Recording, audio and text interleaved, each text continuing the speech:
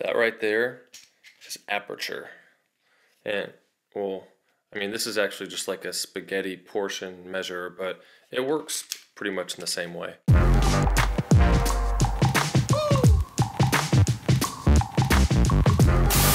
Hey everyone, Camber here, back with you, and today we're talking about aperture and how it affects your video. And if you're new here, this channel is all about teaching you how to use your camera to make good videos. So if that's you, consider subscribing. So what is aperture?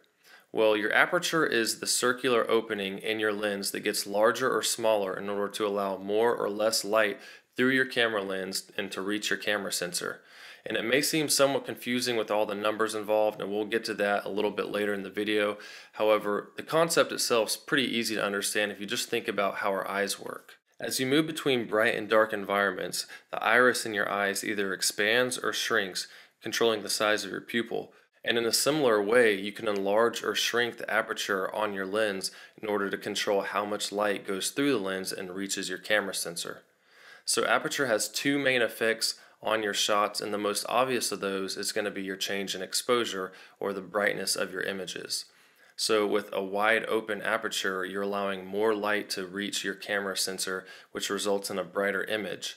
And when you have a narrow aperture, less light is being able to get through your camera lens and reaching your sensor, resulting in a darker image. So the other big effect the aperture has on your shots is your depth of field, and this really controls the style of your shots.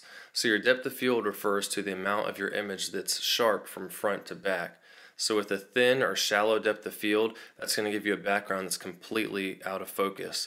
Whereas with a large or deep depth of field, your foreground and your background are going to be a lot more in focus and a lot more sharp. So now we know how aperture works, but the way you'll see it represented on your camera is by an f number or an f-stop. Whenever you see an aperture value, the letter f will appear before the number, like f slash 8, although some cameras omit the slash and just write f8. But one important part of aperture that may seem confusing at first is that small numbers equal large apertures, while large numbers equal small apertures.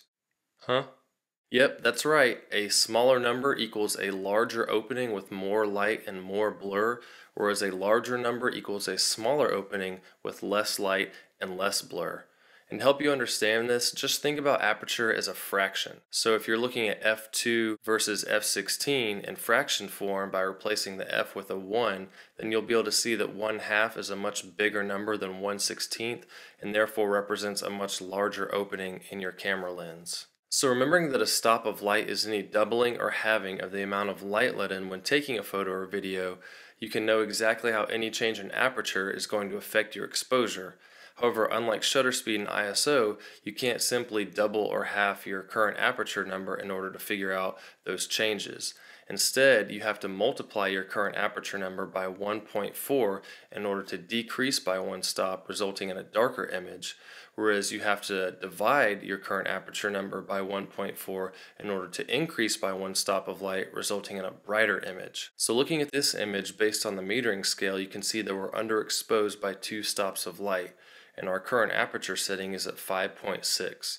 So in order to increase by one stop of light, we'll go to f4 and now we're only one stop underexposed and to increase one more stop of light we'll go down to f2.8 and now we've increased by one more stop of light and we're properly exposed based on the metering scale. On the other hand, if the same image was overexposed by two stops of light and we were at f5.6, we would then need to increase our aperture to f8 in order to decrease by one stop of light so that now we're only overexposed by one stop.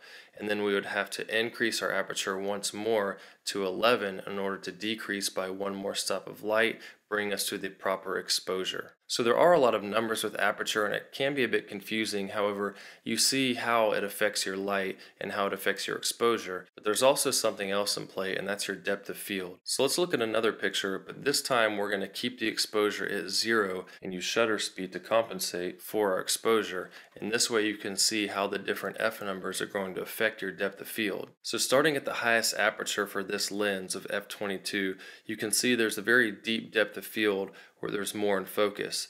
And as you move to the lower f numbers, the background becomes progressively blurrier. Now at f8, there's much more blur in the shot, But as we keep moving all the way down to f1.8, which is the lowest aperture for this lens, you can see the background is much more blurry. And now comparing it together with f22, there's a huge difference in how your aperture is going to affect the depth of field and the way your shot looks. Overall, you can see the aperture is clearly a crucial point in exposure and possibly one of the most important settings on your camera because of depth of field and the major role that plays in the style of your shots. And your choice in aperture is really going to control the look and feel of your film. And that's all for aperture. So if this was helpful, go ahead and hit that like button and let me know down below if you do have any more questions about aperture. Go ahead and subscribe if you haven't and remember that the only way to get better at something is to practice. So get out there and film something. See you soon.